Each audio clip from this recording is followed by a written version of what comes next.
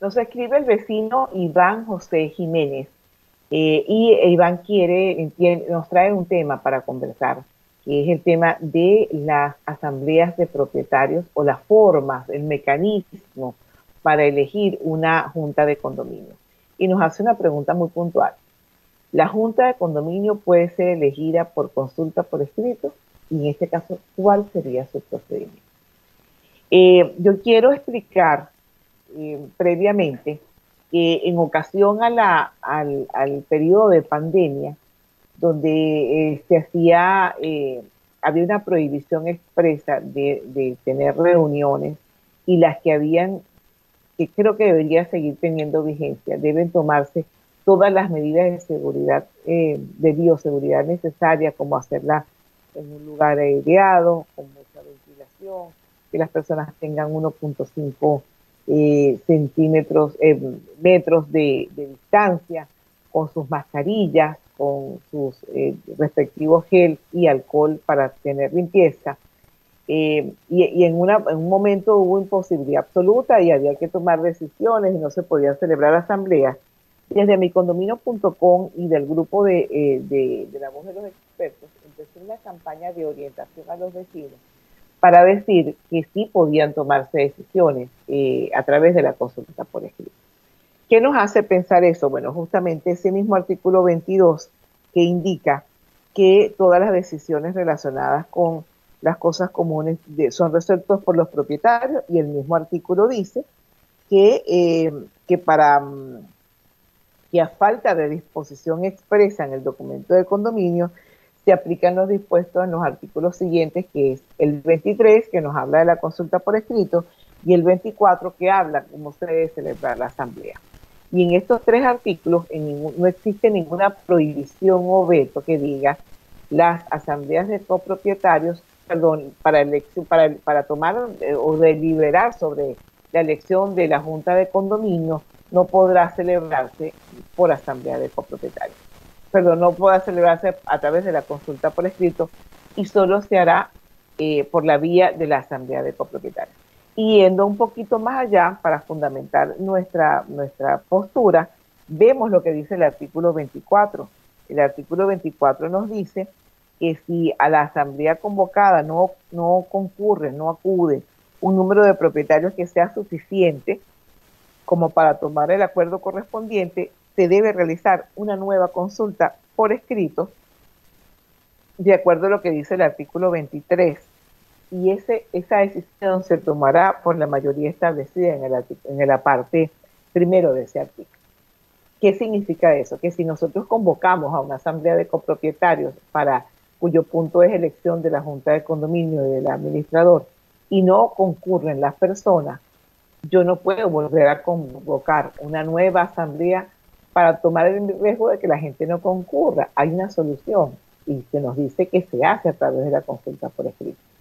Claro, aquí nos dice que, que, hay una excepción, es que a falta de disposición expresa, si en su documento de condominio existe una disposición expresa de cómo deben resolverse los temas, eh, hay, que, eh, hay que acudir a esta decisión. Hemos visto algunos documentos de condominio donde dicen, por ejemplo, que se celebran tres llamados, y en el último llamado la decisión se toma con las personas que asistan.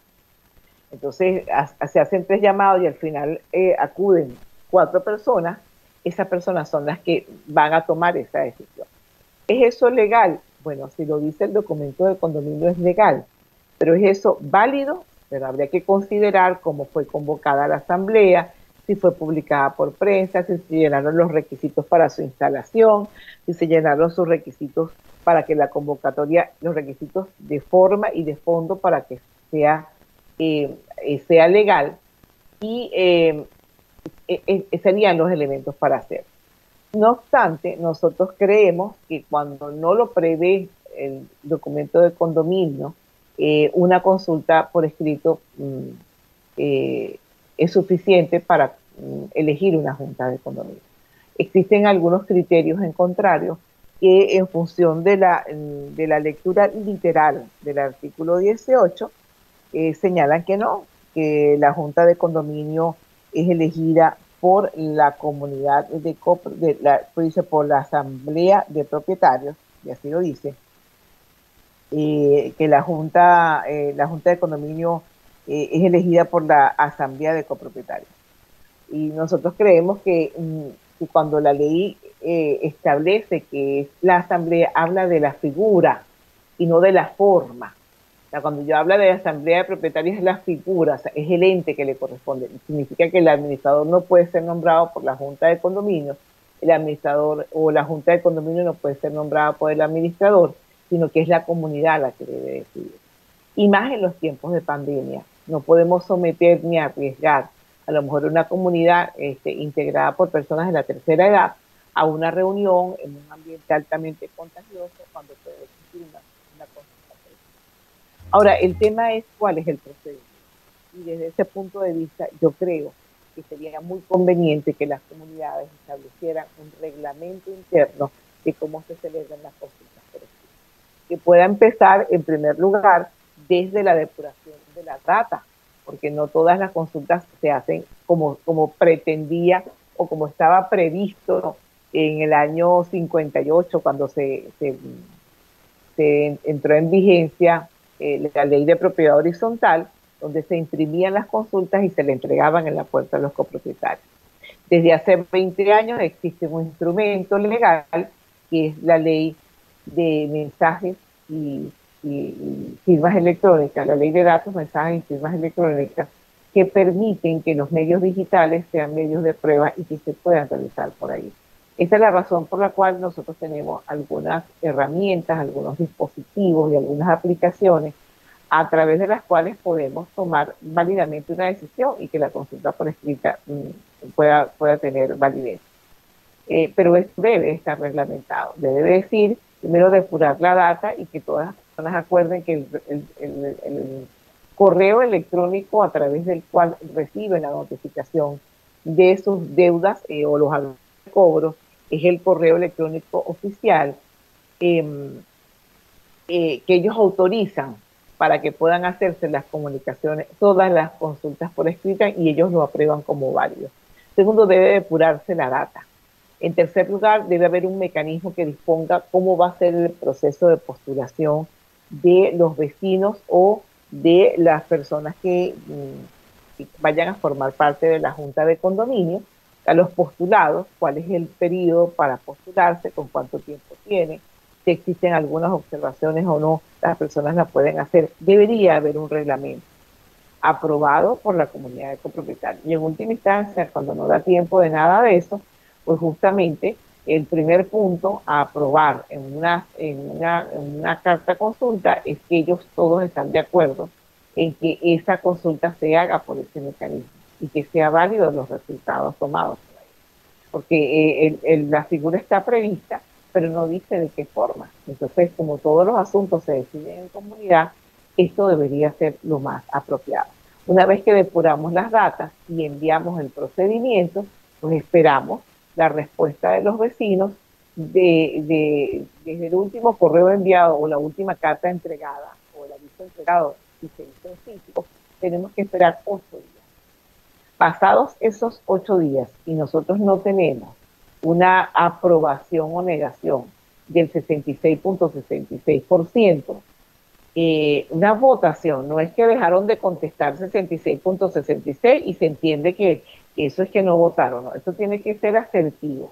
Usted está de acuerdo con la elección de la Junta de Condominio en los siguientes términos y la gente diga sí o la gente diga no. Si no se obtiene ese sí o ese no bajo el, porcentaje del 66.66%, que viene a representar las dos terceras partes del total de la comunidad, del total del 100% de la comunidad contada en alícuotas, entonces se iría a una segunda vuelta. Y en esta segunda vuelta, en los mismos términos de la primera, eh, la proposición quedaría aprobada si eh, votan afirmativamente Em, eh, al menos el 51%, la mitad más uno de los vecinos que hayan hecho llegar su respuesta. Entonces, eso es, eh, ese es el procedimiento. Ya en esta segunda vuelta, eh, no se toma en consideración el 100% de la, de la comunidad, de la, de la totalidad de los inmuebles, sino que el 100% de esta segunda vuelta van a ser quienes hayan respondido. Y en función de lo que hayan respondido, se saca el foro.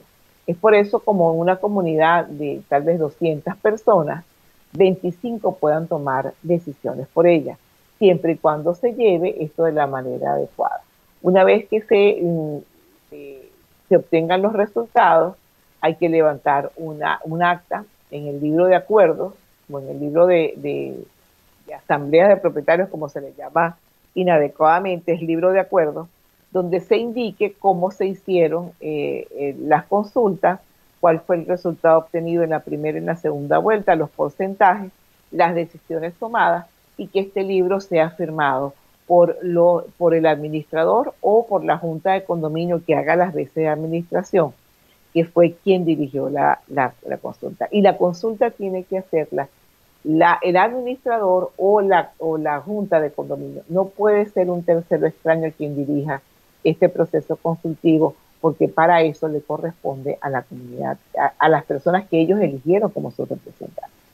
Ese es el mecanismo y esa es la vía que tenemos para eh, realizar estos procesos consultivos.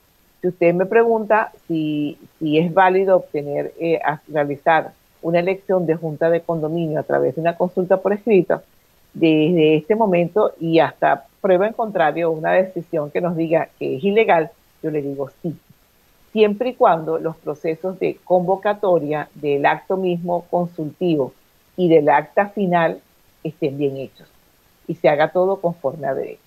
Esa es la opinión y esa es la respuesta que podemos darle al señor Iván José Jiménez desde el Servicio de Atención Pública y Gratuita de mi condominio.com.